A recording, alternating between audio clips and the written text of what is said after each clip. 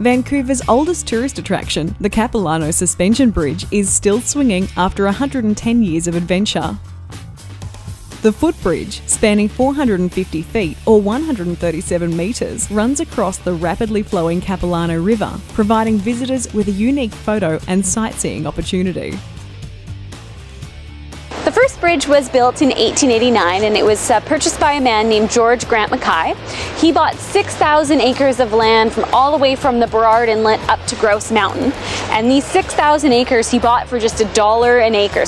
Today, the bridge is made from reinforced steel, safely anchored in 13 tonnes of concrete, a far cry from the original construction, made from hemp rope and cedar planks.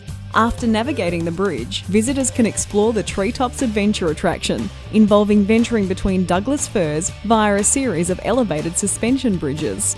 Other attractions include a rainforest walking tour and totem park, or you can just sit back and relax and watch part of Vancouver's history.